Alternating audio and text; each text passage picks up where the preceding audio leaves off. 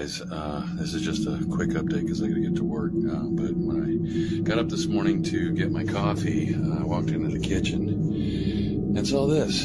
So I guess you guys were right that uh, activity seems to be picking up because I have been, you know, doing renovations. I replaced all this stuff, this uh, dishwasher, this stove, the oven hood there. Uh, but this morning when I came into the kitchen, I noticed the cabinet was open and then I noticed this chair. Uh, so I checked the ring video, and it definitely